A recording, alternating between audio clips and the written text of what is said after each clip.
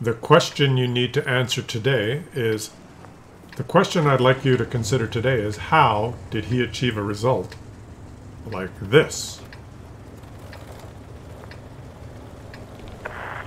Ihre Unterstützung wurde angefordert. Well, let's watch. In one of my favorite tanks in the game, the Leopard prototype, it's nuts! Loses, it was, from the Alp J clan. It's nuts, I tell ya. That's his name, Nuts. How you doing, guys? Welcome back. Hope you're having a fantastic day. There's one game for you today. Why? Because it's a hell of a game. I love this tank. I, I, I don't know why. I love the I love the leopards and the E50s. I love the sniper tanks. Uh, you get close. The E50 is not a sniper tank. Well, it, it can snipe as good as any. It's, it can also brawl. But uh, leopard, beautiful sniper machine. Uh, I, I like. I've told you this, guys. I sound like a broken record, but I'm going to repeat it again because it's important.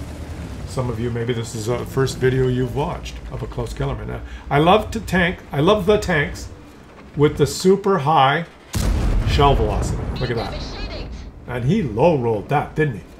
Super high shell velocity, which means when you press the trigger, the shell is there almost instantaneously. And it's all co- it's computer programmed. I'm going to mention it again. I won't go on for 15 minutes about it. Okay, just just uh, quickly. This is a game. It's computer program. When the shell, what is the shell velocity here? Let's look. It's uh, a 1,480, one of the highest shell velocities on the APCR, which, uh, and the APCR is 1,600. The premium ammo is 1,613. The regular ammo is 1,480. There's just a fantastic shell velocity either way. And what that means in the computer program is it arrives pretty much instantaneously, which removes all the delay that would have to be programmed in when you have a slower shell velocity uh, shell. That's the in a computer program sense. That's the difference, right? If your shell velocity is 600 or 800 meters per second, you go click. The computer program, which is the game we play, says, "Oh, it's the slow shell velocity. The target's 400 meters away, and uh, in this game, that means it takes two seconds or 1.6 seconds for the shell to get there. That goes into the computer. Then the, the optics, the visual of the game shows, right? That's the visuals, that's separate. But in the computer program, it delays things by whatever, 1.6 seconds, and then samples where is that enemy vehicle moved. Uh, there's a whole bunch of computer programming that goes in there to figure out what the position of the thing you're shooting is, that delay. There's a whole bunch of computer programming in there. How efficient is that computer programming? How well does it work? Right? Is it all sorts of new variables are introduced? Think about it, right? I'm, because I know we watch the screen here and this is what we see, but think about what's happening in, you know, computer land, in the in the ether, the the server and you and the delays and think about it. You ever try to shoot an EBR? The EBR is moving 100 kilometers an hour. You got 900 meters per second shell velocity. You click, you see your shell arc like this. The computer program says, well, it's going to hit the EBR uh, in 1.3 seconds. The thing's moving, a, it's trying to sample where it is. 1.3 seconds later, its position is changing. What's the computer program doing? It goes left, right, up, down. You have ping, right? There's all sorts of variables. And then you see on your computer screen, you see your shell go, you see the EBR coming like this, you see your shell going like this, and the shell goes right through. And you missed. Then you play the Leopard with premium ammo. You got 1600 meters per second shell velocity. The EBR is driving by at 100 kilometers an hour. You put your uh, aim circle right on the front of the. You don't even lead the shot at all. You go click. The shell arrives instantaneously. Boom! You slap the EBR for 423 damage. There's no delay. Uh, you you put your you know, you know what I'm saying? So yeah, uh, higher higher shell velocity are more accurate. I guess you can you can say that. Yeah, the shells are more accurate. They are uh, because there's a lot less errors introduced.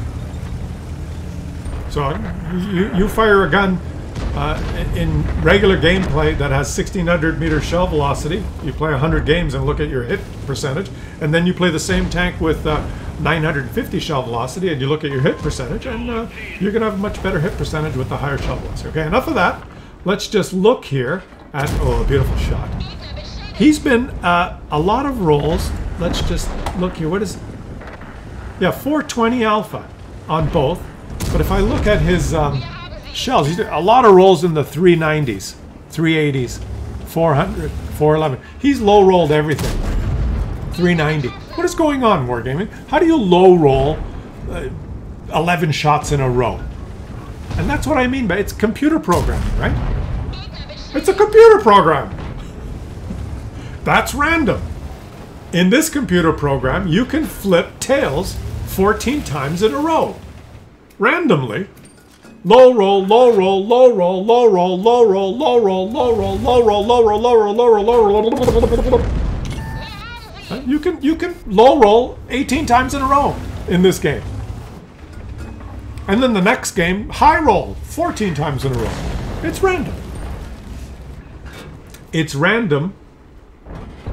The definition of random in this computer game. It's not the true definition of random. True definition of random is not the same thing. I'm not going to explain that because that I'll keep going for 20 minutes on that one.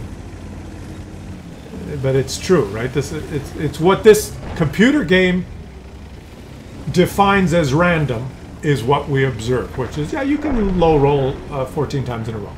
Unfortunately, people play video games and they they watch TikTok and they they Snapchat and they spend uh, uh, you know, 15 seconds on a topic and they think they're experts. And and there's a generation, especially the young kids, the fanboys and stuff.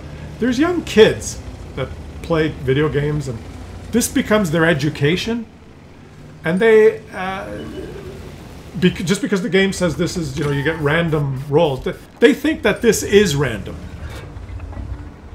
They're not scientists. They don't. They don't understand how the universe works. They believe that you know, they, I've played a video game and they've learned the concept of random, say through World of Tanks. So they have no idea what real randomness means. Think about that. Whole generation of kids that are online uh, that aren't educated in the sciences, and um, you know, th- their their thoughts and their the way they understand things are shaped by um, this. That's a that's a whole other discussion. the moral of the story is, I like high shell velocity. now he's high rolling uh, in a row. Now he's gonna high roll ten times in a row randomly. Or yes, high roll, high roll, high roll. We won't get into the long discussion, but uh, I rest rest assured that it is uh, very difficult to um, to define randomness. And scientists are trying to define randomness by uh, uh, where an electron moves, whether it goes to shell one or shell two in a certain molecule, randomly um, the position of an electron in a simple molecule that only has one is random. You can't predict where it is. That's random.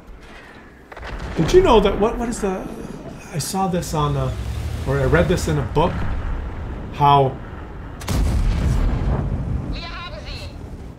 the occurrence of numbers that that we see on signs and on things that the number 1 is the number that appears uh, the most in human-made society. So if like a, if you looking for a, an address or something or a, or a phone number, if you're going to try and guess a number of something, uh, it's much more likely that the number one is in it than any other number because we always start at one.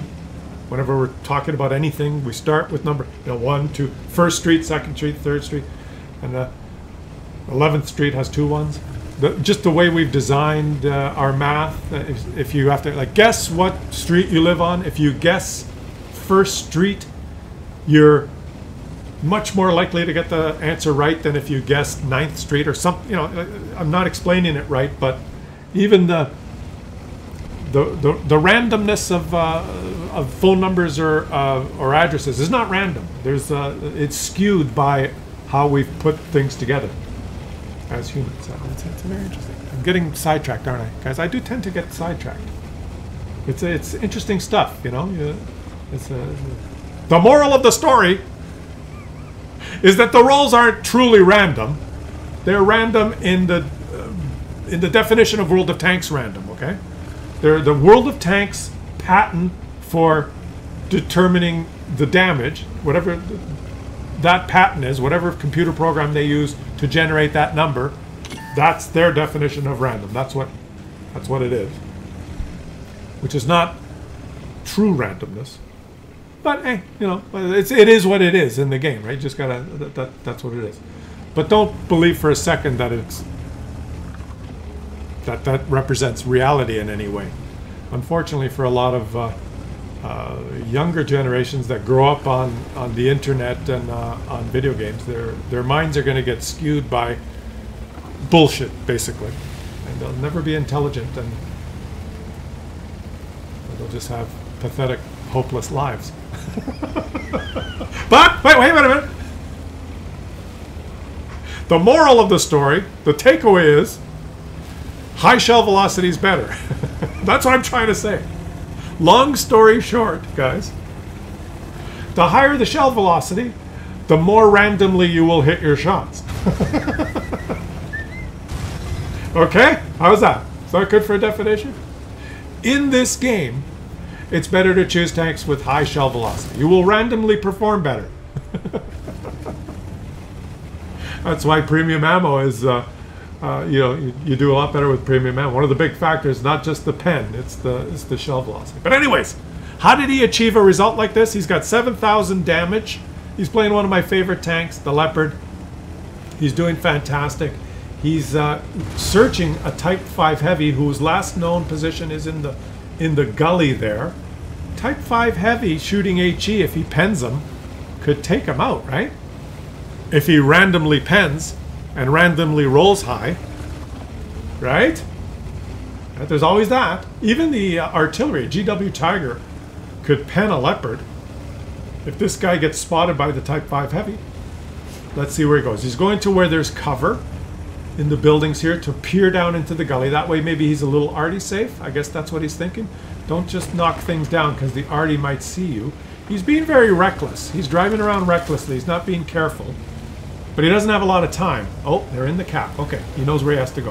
One of them's in the cap. Is he choosing to go this way? Okay, he's choosing to go this way.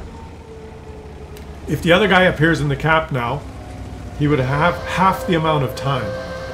But what's the chances that the uh, artillery... Oh, no, both of them are in the cap. I was going to say, what's the chance the artillery actually used his keyboard? And he did. They both entered... Why didn't they enter the cap together? And it really would have given them the, the least amount of seconds to reset. They, they didn't time the... They never communicate, do they? Okay, let's see what he can do. He's got 20, 19, 18, 17. It's counting down faster than one uh, click per second. He doesn't have... He's probably got just a few seconds. And, and, and boom. Whew. He had an HE shell loaded. Uh, oh, look at this. They're, they're both like HE shell territory. Boom. This Type 5 heavy. Okay, is he going to bounce? Is he to bounce? Type 5 heavy, just make it count. Make it count, make it count. Whoop, whoop, whoop, whoop. Yes! The Type 5 Heavy didn't even press the trigger and raised that PP high. And I gotta say, that was a fantastic game. Nuts.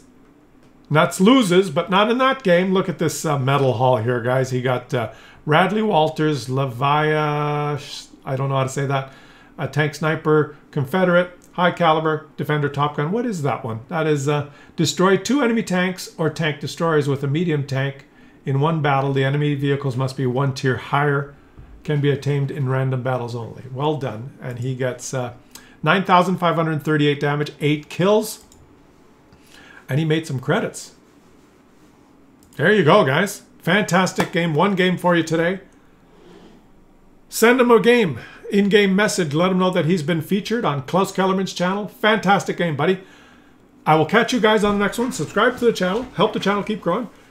And I will see you guys again tomorrow.